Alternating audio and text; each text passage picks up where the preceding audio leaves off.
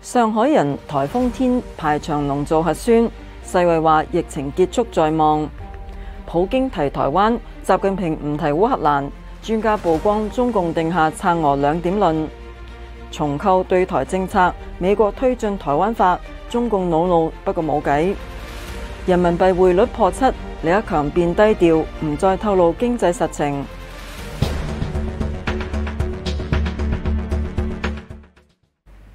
各位觀眾，大家好，今日係九月十七號星期六，歡迎收睇《紀元頭條》，我係雪兒。颱風梅花十四號登陸上海，帶嚟狂風暴雨，但喺中共清零防疫運動之下，上海居民仲喺度排長龍做核酸。與此同時，世衛組織總幹事譚德塞公開表示，疫情即將過去，但消息遭到中共封殺。我的娘啊！起這麼大的颱風，大半夜了，还有这么多人做核酸。台风梅花登陆上海之后，唔少核酸点关闭，只系留低几个。但系为咗能够自由出行，大批市民冒住台风同埋暴雨排长龙，去到为数唔多嘅核酸点做核酸，引爆民怨。現在的人比我刚刚来的时候还要多很多。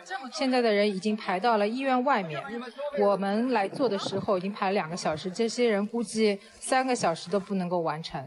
核酸要做，但是呢，核酸检测点没有。然后呢，地铁需要做核酸，但是呢，你已经过期。算了，不多说了，说了也没用。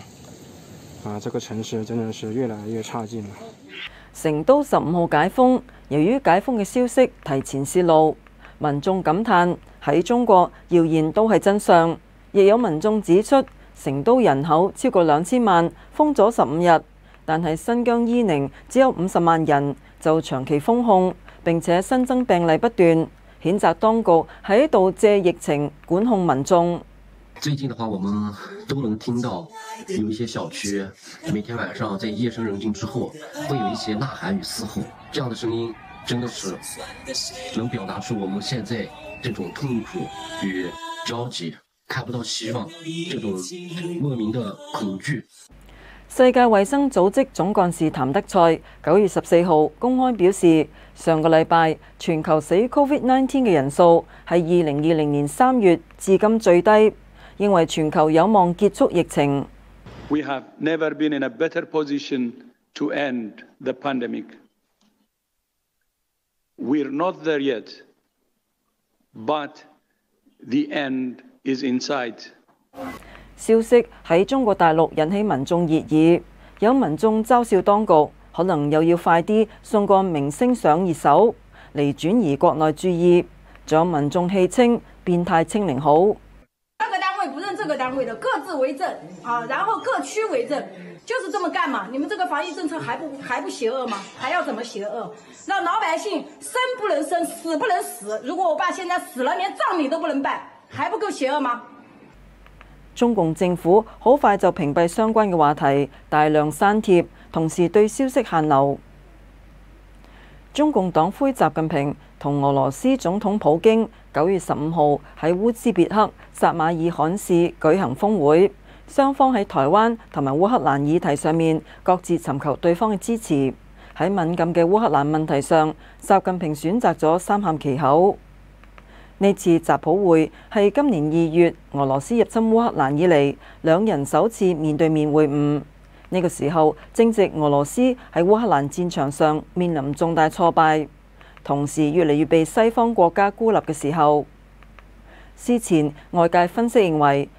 普京會施壓習近平，要求兑現中俄關係發展無上限嘅承諾，而習近平會以乜嘢嘅形式提供幾大嘅支持，成為關注焦點。對於習普會，俄羅斯官方報導話，普京對習近平話，理解中共喺烏克蘭問題上嘅平衡立場，普京話理解你哋對呢件事嘅疑慮同埋憂心。當然喺今日嘅會面中會詳細解釋我哋喺呢個議題上嘅立場。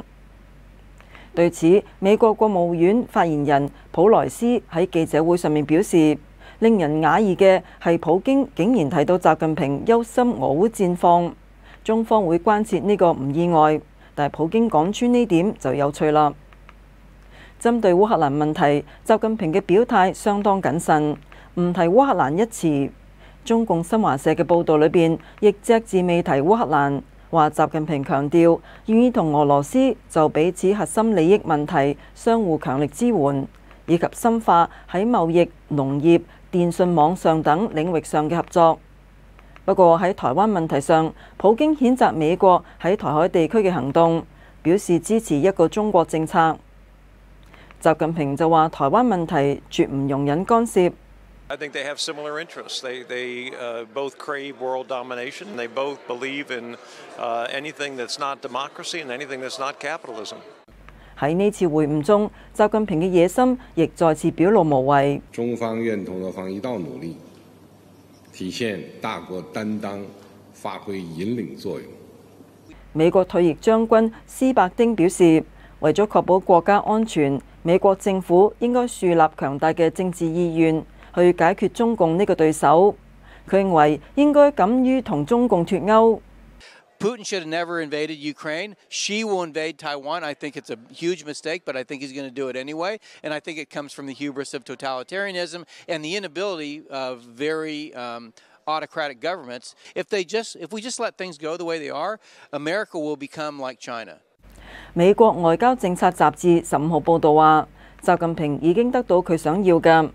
另一方面，普京想要嘅支持雖然喺習普會嘅公開場合上冇得到習近平嘅承諾，但係兩人會面之前，俄羅斯向世界曝光咗習近平嘅親信栗戰書作出嘅大尺度承諾。現在的乌克兰問題，那麼美國和北約，呃，直接逼到俄羅斯的家門口，俄羅斯採取認為，呃，適合應當採取的一些措施，中方是表示理解。而且从不同的方面给予策应。至於習近平當局跟住落嚟會用乜嘢嘅方式嚟策應普京，正被國際社會高度關注。針對習近平點解要策應普京，旅居澳洲知名化學家袁洪兵十四號喺接受看中國記者採訪嘅時候，引述中共內部人士消息透露，中共內部已經定咗策俄兩點論。袁洪兵話：第一點，中共絕對唔允許西方社會擊敗俄羅斯，因為如果俄羅斯敗咗，普京政權將會瓦解，俄羅斯可能會出現一個親西方嘅民主政權。中共喺北部將面臨前所未有嘅戰略壓力。第二點係，中共並唔希望俄羅斯取得決定性嘅勝利，而係希望俄羅斯付出慘重代價之後取得慘勝。因為國力削弱嘅俄羅斯會更加依賴中共政權，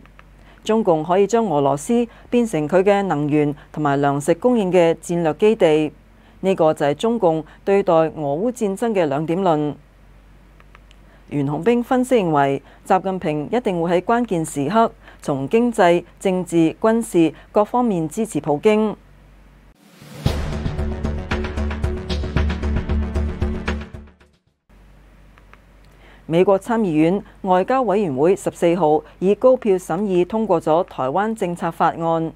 該法案意在重構對台政策，喺外交、軍事等領域全面提升台美關係，阻止中共入侵台灣嘅目標明確，被稱為旗艦型撐台法案。法案聯合發起人參議員梅南德茲喺聲明裏邊指出，呢次表決展現咗美國對台灣人民嘅堅定支持。台灣政策法案被視為係一九七九年以嚟美國對台政策最全面嘅調整，旨在全方位提升美台關係。之前中共為咗阻止台灣政策法案被通過，駐美大使秦剛曾經怒怒宣稱，如果台灣政策法案過關，中美關係將面臨瓦解。白宮似乎擔心原版法案裏面嘅措辭過於強烈，恐怕激怒北京。因此，十五號通過嘅版本做咗部分嘅修訂。不過梅南德茲就表示，法案雖然有所修改，但係實質內容都有保留。具體修改內容包括喺外交方面，法案原本要求將台灣駐美機構台北經濟文化代表處改名為台灣代表處，但修訂之後嘅版本改為國會建議更名，而唔係要求。同時，新版本刪除咗美國在台協會處長任命需要參議院同意嘅條文。喺防衛方面，法案原本賦予台灣主要非北約盟友嘅地位，修訂之後改為喺軍備轉移上以主要非北約盟友同等方式對待台灣。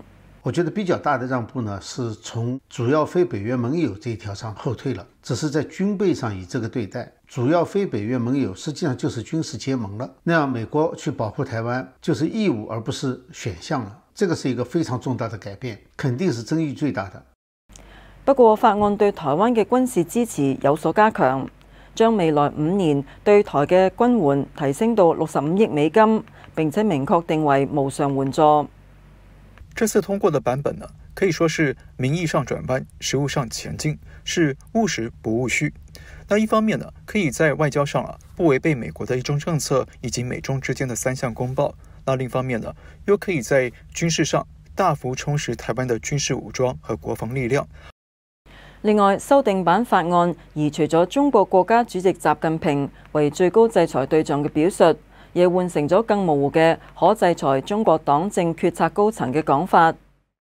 这一條呢，其实是最象征性、最没有实际意义的条款。跟住落嚟，法案仲需要經過參眾兩院表決通過，並且由總統簽字，先至能夠成為法律。法案經過修訂之後，被認為喺兩院過關嘅機會變得更大。九月十五號晚上八點，離岸人民幣對美元匯率時隔兩年再度破七，下探至最低嘅七點零一八三。而在岸價喺十六號朝早開市初段亦失守七算，一度低見七點零一九。市場對於人民幣匯率破七已經有預期，目前市場擔憂人民幣匯率破七之後會繼續下行。民生銀行首席經濟學家溫彬表示，人民幣離岸匯率再度破七，主要係受到美聯儲收緊貨幣政策嘅影響。隨住美元走強，人民幣出現貶值。東方金城首席宏觀分析師黃清認為，跟住落嚟，美元會繼續保持強勢，而人民幣仍然存在貶值壓力。大紀元專欄作家黃客直言，中國經濟受到動態清零嘅嚴重衝擊。當局目前並冇顯示出二十大之後調整嘅姿勢，加上中國經濟長期積累嘅問題亦喺度爆發，中國經濟正朝住長期向外發展，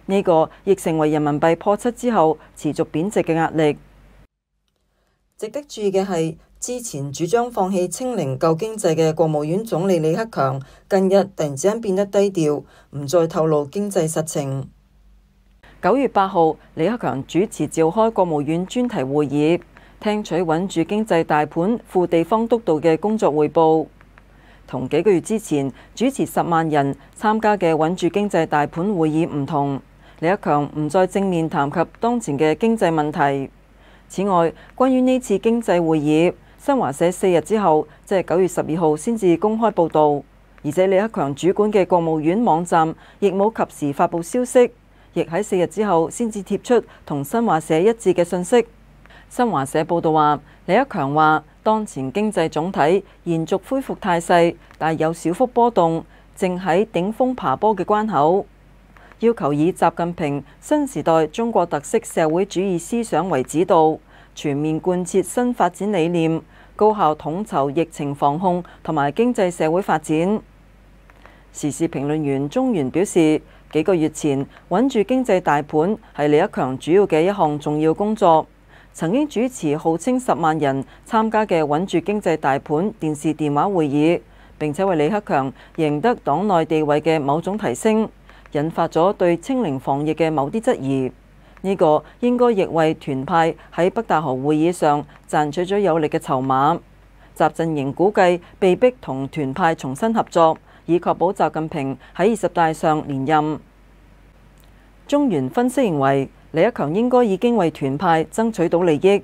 而家二十大在即，李克強唔再輕易表達唔同調嘅言辭，講話內容開始同習陣營協調對外。另一方面，李克強唔再透露經濟實情，同時亦喺度摘除自己嘅責任，某種程度上仲喺度展示業績。李克強話：呢幾年我哋保持宏觀政策可持續性，冇大幅增加財政赤字、超發貨幣，為今年出台政策預留系列政策工具。中原認為，到二十大召開前，李克強唔會再有談及中國經濟實情嘅言論。二十大之後，李克強更冇講實話嘅機會。今日紀元頭條就到呢度，多謝收睇，守護真相永不放棄。就請大家訂閱我哋嘅 Patreon，你嘅支持可以幫助我哋嘅 channel 繼續營運落去。我係雪兒，下個禮拜見啦。扁康院可以改善鼻敏、